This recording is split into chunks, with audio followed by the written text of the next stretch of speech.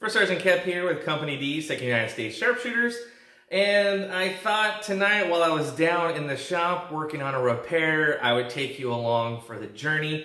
Um, a lot of us in the hobby like to use you know, antique or original items, and for a lot of it's for authenticity, but sometimes you can find some pretty old or beat up items, and you may think, well, it's not in good shape, it's broken, I can't use it. Um, and so I figured, well, if I can show you a few tricks, you might be able to save yourself some money, resurrect an old tool, and improve your impression fairly affordably. And so what I'm working on here tonight is an old, D-handled, uh, sort of scooper style shovel. Now out here in the Pacific Northwest where we're at, these style of handles and shovels are intensely rare. Um, so when I saw this thing sitting outside in the rain at one of my favorite antique stores, uh, I grabbed it, walked inside, and they only wanted $10 for it. Now, out here, that is an amazing deal. It is not uncommon to find these D-handled shovels out here in the Northwest for as much as $80 in an antique store regardless of condition. It's crazy. So I didn't need it, but I figured, you know what, I can I can fix this up and have it ready in case someone wanted to buy it off of me. And it's always nice to have an extra shovel, and I enjoy restoring old tools. So I brought this home, I let it dry out in my shop for a couple weeks because, and this thing was wringing wet. And once it dried off, I started removing the rust. I used a medium, medium fine wire wheel. Um, and remove the rust while preserving as much of the patina as I reasonably could. I want all the rust gone, but um, I'm also not doing some sort of like showroom restoration. I wanted to honor the history and beauty of this tool as best as I could while keeping it serviceable and removing the rust. Now, instead of using a wire wheel, you can also use different uh, chemical treatments to remove or convert the rust but the wire wheel on my little experimental piece worked out fantastic. Uh, once I had the rust removed, I had a tear in this shovel. It's only about three quarters of an inch long, um, but it needed to be repaired, otherwise it just keep tearing through use. So I cleaned up this edge uh, with a die grinder and tried to keep the repair spot as small as possible. I hammered everything back in alignment on my anvil, and then I welded it together. I think it only took like three or four tacks. And then I cleaned it, cleaned it up again with, a, uh, with grinders and a finally a nice uh, fine file so I can match the contours and blend it in on either side. So now this metal piece is completely structurally sound and it gave me um, a sense of the quality of the steel that was remaining because sometimes you get antique tools and you don't know what life they had. Um, they could have been rusted and, and, neglected to where the steel is no longer any good, in which point this is just kind of a wall hanger, if anything. But once I had the metal work done, I uh, cleaned it. I cleaned it up with some more WD-40, and I put a nice coat of boiled linseed oil on it. And so now I am ready to tackle the handle. Now, I've never seen a pristine or like antique D-handle shovel. Um, I'm sure if you're from back east and these are way more common, you probably have. Uh, but most of the time when you get an antique tool, you need to do some sort of repair or maintenance to, to get it back and serviceable. And one of the things that are super common with these old shovels is the handle is almost always split and you almost always have a split going down the grain into the handle to some extent. And I wanted to show you how I go about repairing these so you don't feel like, oh, well, that's no good. It's a broken shovel. It's like, well, we can repair it and you almost, unless you know what you're looking for, you'd never notice the repairs. And even if you have like deeper damage in the stock, how I repair these uh, can also build up the material a lot better and you can fine tune it and put this thing back to work. So I need to glue this wood back together to rebuild its structural integrity, and then I'll sand uh, it nice and smooth. It's actually not too bad, it weathered pretty well, but I'll sand it again and I'll have to sand down my repairs anyway, and then I'll hit it with numerous coats of boiled linseed oil. Uh, something that's old and dry, or even if it's something new, I'll probably like thoroughly coat this thing every day for at least a week uh, to get it back and happy and pliable and ready to be back into service. So how do I go about repairing these cracks? Well, I do that with just some basic two-part epoxy. Uh, just about any woodworker is going to have some of this stuff or a lot of this stuff on hand, uh, especially if you're making tables or you do a lot of uh, slab work. We use this a lot to fill in knot holes and stuff like that so we can stabilize the wood. And I don't go through a ton of it, but I always keep some on hand for little repairs like this. So whatever brand you choose, and then depending on your crack, I recommend some sort of way to wedge the damage open.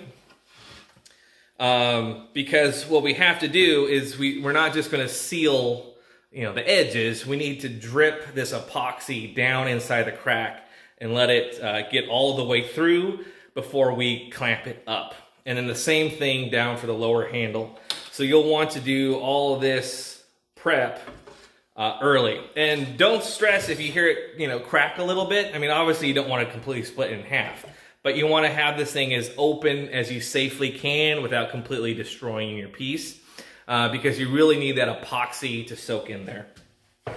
And then you'll want some uh, masking tape. This is just going to help you uh, save a lot of time on cleanup. So what I'll do is I'll take my masking tape and I'll tape, you know, fairly close to the crack. I'm, I'm not gonna stress it. I'm not painting a car or pinstriping or anything.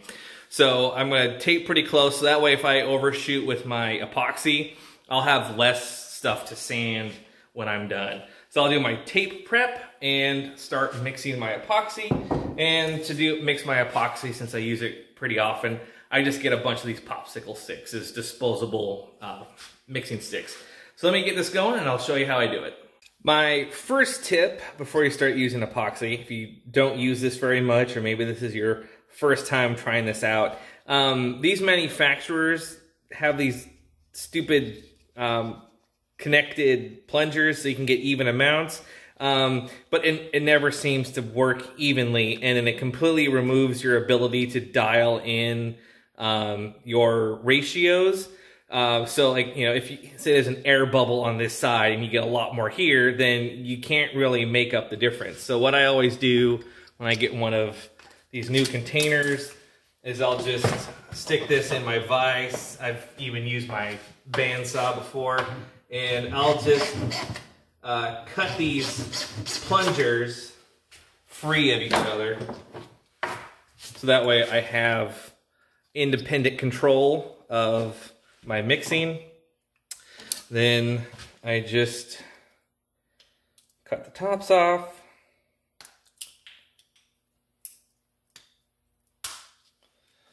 And then I'm going to mix up a healthy amount. Um, usually you're going to get a lot of epoxy seeping into some of these rather large cracks.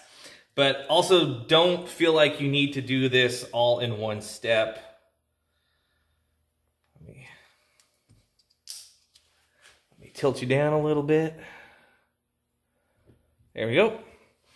And so you can see I have my, probably a little bit more clear. Okay. I'll just pull back and set that aside. And now I'm ready to mix. So like I was saying, um, you're, you're, you're going to need two or three goes at this one. Um, you'll probably repair the crack itself in uh, the first treatment, but you might have um, voids, it might settle, it might seep further into the crack, which is great. Um, you may also have um, whole chunks of wood missing, and you may have to build up your epoxy into several coats if you want everything to, to look nice, even, and smooth. So now I have my epoxy mixed and I'm going to start applying it. Try not to make a big mess. And as, as you get it in there, you want to really try to get it pressed in. And that's what I like about these popsicle sticks, is I can use it to force the epoxy down into the crack. Now, if, if you know, if you're trying to match um, pigments or coloration, you can you can buy pigments to uh, dye your epoxy. Uh, black is usually pretty good because it blends in with uh, wood very well. I usually just run it clear. Uh, some people will mix in sawdust from the, the piece that they're trying to repair. So that will uh, match even more. But I've noticed that, you know, in my years of doing this, the repairs are almost invisible to the untrained eye because they work so well. And then once you darken the wood with linseed oil, it blends in even more. So I'm trying to get it all the way down, even to the, the fine cracks.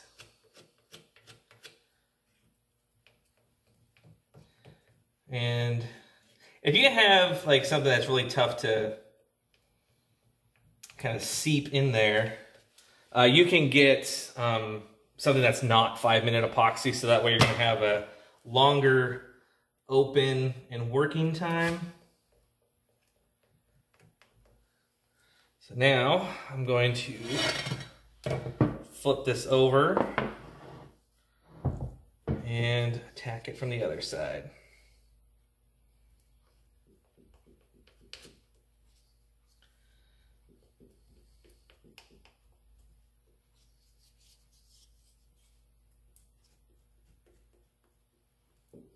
Now you may be you may be asking yourself, well, uh, why don't you know why not just use uh, wood glue? Uh, if you're if you're just trying to glue the pieces of wood back together, um, wood glue, of course, is going to work just fine, but it doesn't give you sort of the, the, the build up ability that you can get with a two part epoxy. So if you're trying to build up the the structural integrity and fill in material, uh, epoxy is going to be uh, a much better choice every time. Okay, so now my wedges are in the way. Now it's time to pull them out. And keep feeding in the epoxy.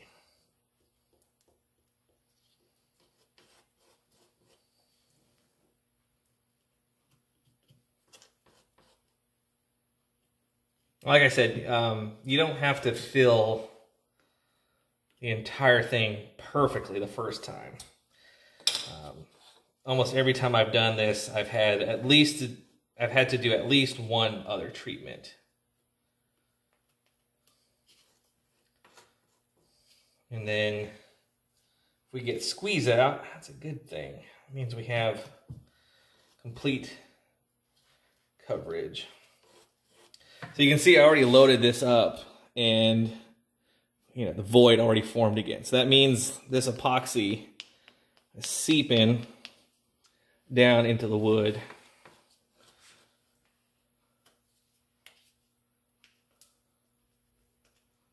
Okay, so now I have complete coverage. All the holes, I guess all the cracks are filled. And now it's just a matter of grabbing some clamps and clamping it together.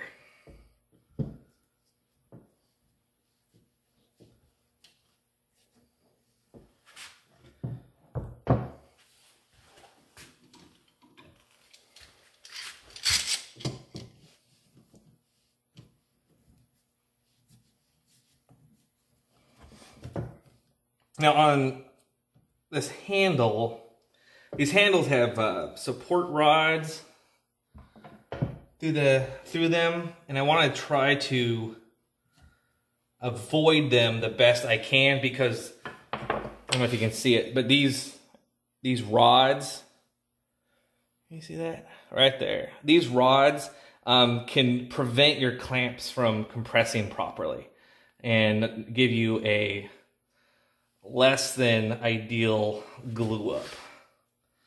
And just use as many clamps as you feel you need. Once you have everything filled and clamped, all you have to do is let it dry. I have lots of squeeze out, which is excellent to see. Um, and the other nice thing about epoxy, especially on these old shovels, it looks like this shovel actually sealed up most of its cracks. But because of its age and the condition or maybe additional chipping of the wood over its lifespan, this epoxy is going to fill any gaps that there's just no longer any wood there. So if you have a, a split on the top of the handle, the epoxy is going to bridge that uh, where uh, wood glue wouldn't. Um, but everything else is looking pretty darn good. So now all you have to do is set this aside and let it dry. And then uh, once it uh, cures properly, um, make sure you use a some sort of sanding block to sand your piece with, just any piece of scrap wood. You can even use like an actual sanding block if you have one. Um, the reason to use a sanding block as you're trying to knock down your excess epoxy is so that you don't take off original material, material that you don't need to. So this will actually help you just take down the high spots left over by the um, epoxy while preserving as much surrounding wood as possible. So that way when that epoxy's down flush with the rest of the handle, then you can go in with your finer sandpapers and just blend it in seamlessly. Then you clean up the rest of the wood uh, with, you know, increasing uh, grits of sandpaper till it's nice and smooth or however you like it. Hit it with some linseed oil, let it dry, and it's ready for another generation of faithful service. So I hope this video has helped you. Um, let us know if you have any questions about any other sort of old-timey tool repair, and I'll see what I can do to give you a hand. Um, thanks, as always, for liking and subscribing, and we'll see you next time.